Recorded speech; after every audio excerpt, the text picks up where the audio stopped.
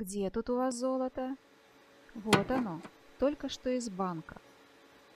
Ровно 12 килограммов.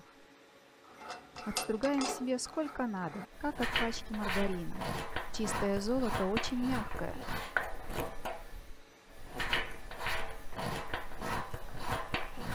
Чтобы сделать цепочку прочной, золотую стружку смешивают с другими металлами. Напоминает кухню, в которой хозяйка приготовила ингредиенты для своего будущего пирога и разложила их по тарелочкам. Пишите рецептик. На 3 килограмма золота взять 1,5 килограмма меди, добавить по 250 граммов цинка и серебра. Выпекать при температуре в 1000 градусов. Не забывайте помешивать. Готово. Через 15 минут раскаленные капли золота охлаждают в водном потоке. Итого 5 килограммов драгоценного металла. Затем толстая проволока превращается в тонкую нить. Цепочки обваливают в порошке, напоминающем обычную муку.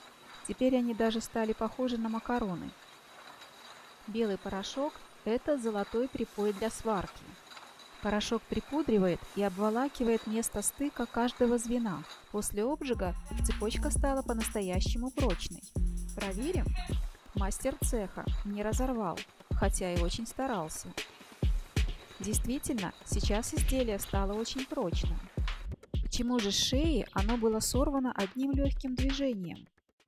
Вот оно, слабое звено, единственное, оставшееся незапаянным. Зачем же нарочно делать цепочку уязвимой? Это не производственный брак.